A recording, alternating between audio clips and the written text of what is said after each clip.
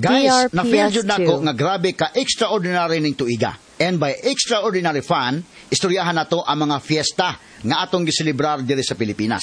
Ang nagkadaiya nga kasaulugan ang atong mga naandan nga tradisyon. The colorful costumes, ang lamit-laming pagkaon, ug siyempre ang pagbaton sa kahayag sa atong lain-laing lokal DRPS2. nga kultura. Kaya to everyone nga extraordinary fun sad ang pangita, tara na og atong sugdan ang pagsaulog sa Cebu Pacific Fiesta Fun Fest. Siyempre, ang akong pirmi jud paabuton, Sinulog Festival. Maong ayaw na pagdugay-dugay pa. Pag-book na. Book your direct flights now to Cebu at DRPS2. cebupacificair.com. And guess what? Patikim pa lang na. With Cebu Pacific, you can explore more fiesta promos and destinations all year round.